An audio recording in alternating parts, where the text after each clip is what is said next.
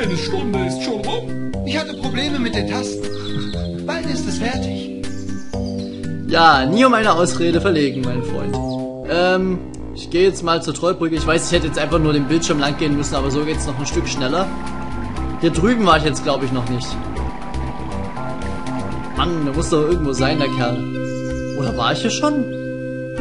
Ach nee, ich glaube, der Bildschirm, der wurde ja mehrmals eingesetzt. Ach, Mensch.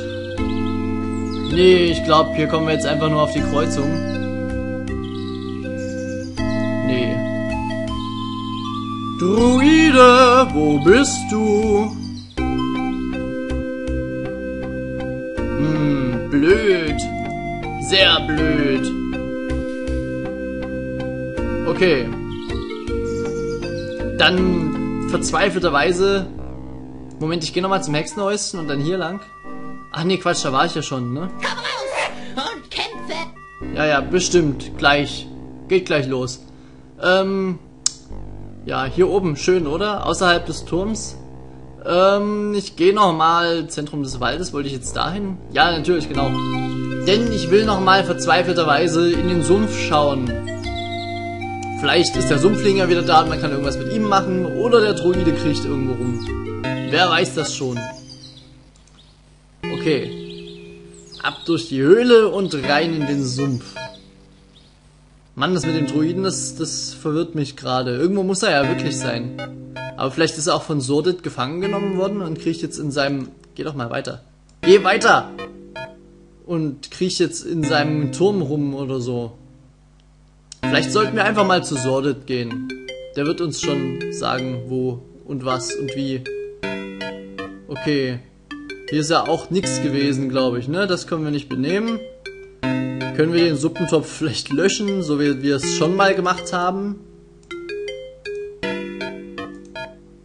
Das geht doch so nicht. Schade. Und diese Kiste wolltest du auch nicht nehmen, glaube ich, ne? Das ist eine Nummer zu groß für Oder mich. vielleicht sinnlos durch die Gegend schieben, wer weiß, warum es denn bewege? Nein. Ach Leute, ich sollte öfter Sachen durch die Gegend schieben, glaube ich. Gut, gucken wir mal, was das ist. Aha. Hey, hey, hey! Dieses Brett ist lose! Gut, dass wir Hammer und Nagel bereit haben. Jawohl, spitze. Das gefällt mir. Okay, wo kommen wir denn da hin? Wo kommen wir denn da hin, wenn wir einfach irgendwelche Falltüren benutzen und dann irgendwelche Stege entlang schreiten? Gucken wir mal. Ein formschöner Schädel. Froschfluch, okay. Gucken wir es uns erstmal an. Nein, schau an. Die Schädelinsel. Aha. Und das da oben? Mensch, schau an, Froschfluch. Das sind spezielle Kräuter mit seltsamen Eigenschaften. Aha, mitnehmen geht nicht, oder? Doch, okay. Wir haben irgendeine Pflanze. Und der Name lässt mich verdammt stark vermuten, dass ich weiß, wofür die ist. Das sind spezielle Kräuter mit seltsamen Eigenschaften. Das Zeug heißt doch bestimmt nicht umsonst Froschfluche, oder? Das muss doch irgendwie mit dem Druiden bestimmt zu tun haben. Okay, gehen wir wieder zurück. Jetzt haben wir, das ist ja auch toll, jetzt haben wir den, äh, den Druiden nicht gefunden, aber dafür irgendwas, was der Druide braucht, garantiert. So, darfst wieder gehen, Simon. Nee, nee, nee, das sind Zustände hier. Okay. Jetzt brauchen wir bloß noch einen Druiden, damit er uns daraus was machen kann. Wobei natürlich immer noch die Möglichkeit besteht, na hier wird er ja bestimmt nicht dann weiter sein, oder? Ich meine, der Kerl ist nackt. So, es sei denn, er hat zwischendurch sich irgendwie aus ein paar Blättern eine Toga gebastelt oder sowas. Können wir denn noch hingehen? Gehen wir mal hier runter. Hier bin ich, glaube ich, noch nicht lang, oder? Das kommt mir zumindest nicht bekannt vor jetzt aus den letzten paar Spielminuten. Ach, hier sind die Holzwürmer, verdammt. Okay, gehen wir mal nach links, vielleicht dort irgendwo. Vielleicht ist er auch gleich am Dorfausgang, das wäre ja auch spitze. Der Baum ist auch in unglaublicher Nutzlosigkeit hier am rumliegen. Ja, gucken wir uns noch mal ein bisschen die Welt an. Ne? Die anderen Wege hatten wir ja alle schon so weit abgegrast. Gucken wir noch mal hier beim Dorf. Nee, natürlich nicht.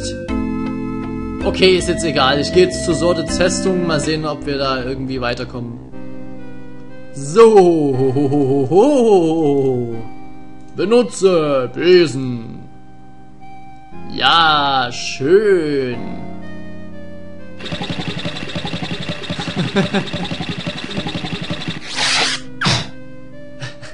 Sehr erfolgreich, ja. Gut gemacht, Simon. Da habe ich wohl etwas zu viel Gas gegeben. Ach Quatsch. Gut, kannst du die Tür denn öffnen? Ich vermute ja mal nicht. Die sind magisch und physikalisch versiegelt. Natürlich, natürlich. Haben wir hier sonst noch irgendwas? Ich hoffe, ich muss hier nicht pixelgenau irgendwas suchen. Das wäre natürlich dämlich. Das hier sieht irgendwie auch verdächtig aus, aber scheint nichts zu sein. Gut. Hier ist bloß Tür. Können wir hier rumgehen? Nee, ne? Kannst du hier irgendwas machen, Simon? Du musst doch zu irgendwas Nütze sein. Mit der Tür können wir nichts... Äh, können wir die Tür vielleicht aufzaubern? Jetzt habe ich endlich mein Zauberbuch wieder. Äh, verdammt.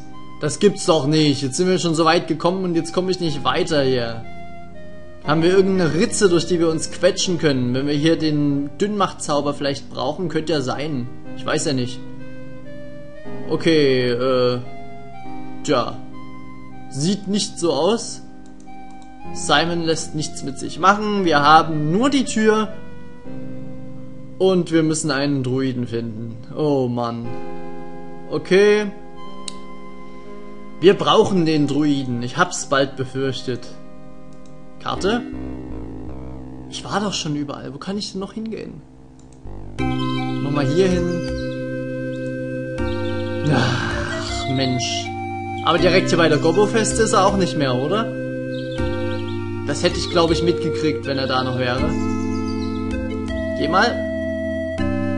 Ne, hier natürlich nicht. Und drinnen wird er sich wohl auch nicht aufhalten, nehme ich mal so an. Das wäre irgendwie etwas sehr merkwürdig. Gut, hier ist uns nichts mehr. Magst du noch mal in die Eiserne Jungfrau gehen?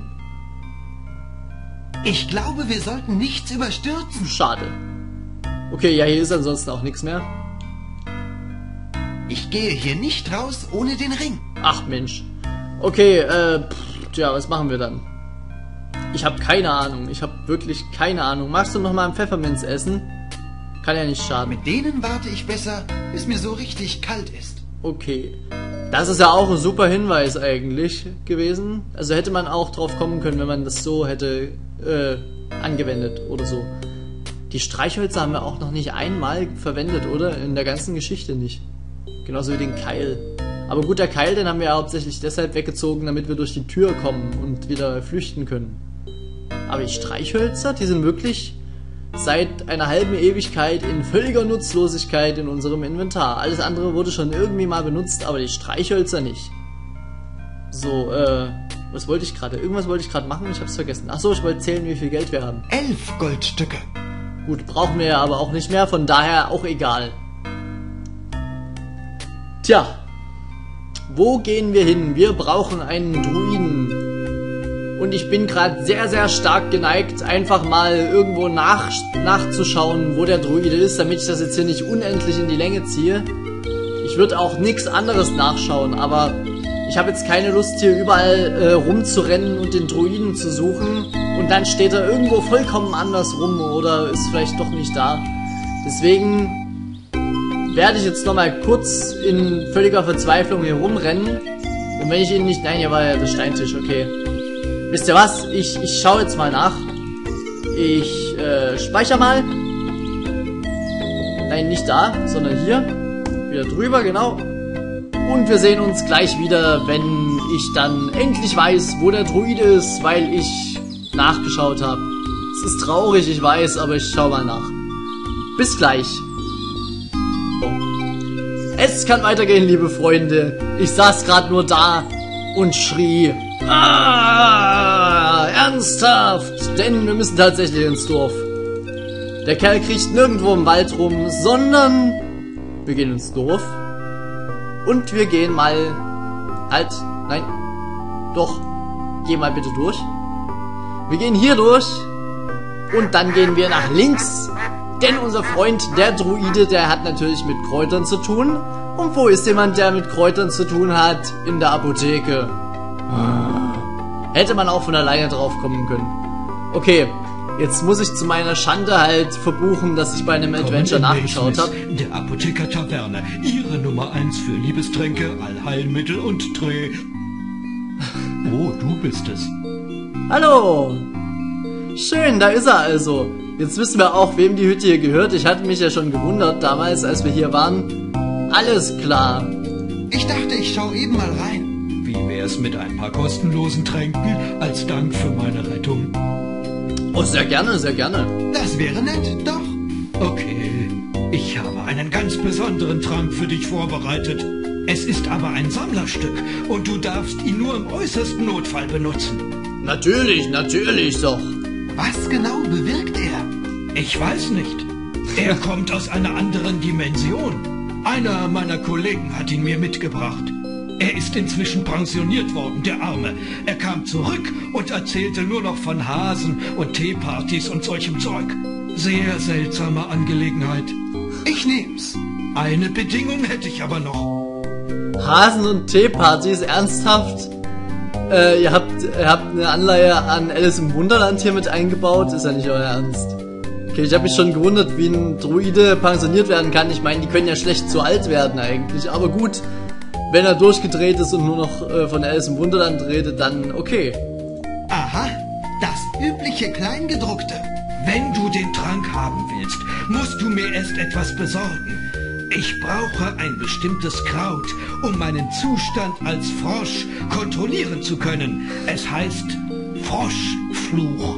Aha. Meine Quellen besagen, dass es nur an einem Ort namens Schädelinsel gefunden werden kann.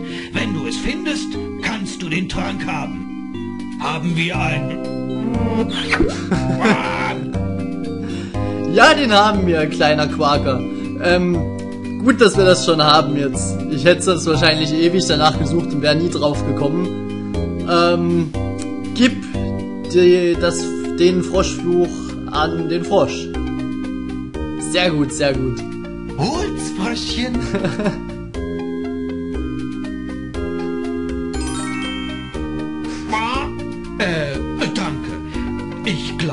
willst jetzt den Trank haben. Bitte sehr. Ich Sehr trenne mich aber nur ungern davon. Dafür trenne ich mich nur ungern vom Froschfluch. Ich verstehe. Sehr gut, sehr gut. Wir haben unseren Druiden versorgt und wir haben einen Trank erhalten. Das lief ja richtig gut jetzt. Ähm, ich fand den sehr süß, ehrlich gesagt, als Frosch. Also mir hat er gefallen als Frosch. Da steht, trink mich drauf. Ja, Alice im Wunderland lässt grüßen. Nur, dass wir dort klein gemacht wurden und ähm, von der Eule klang es ja so, als ob wir mit dem hier schmal gemacht werden. Naja, wir gehen nochmal hin zu Sordes Festung jetzt. Vielleicht kommen wir ja jetzt endlich weiter. Ich hoff's ja, ganz ehrlich. Benutzt nochmal den Besen. Blum, blum, blum, blum, blum, blum.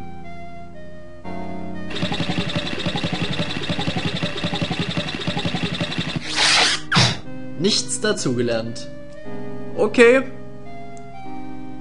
Sind wir also auf der anderen Seite? Da habe ich wohl etwas zu viel Gas gegeben. Meinst du? Okay. Ähm, verzehre, verzehre, verzehre den Trunk.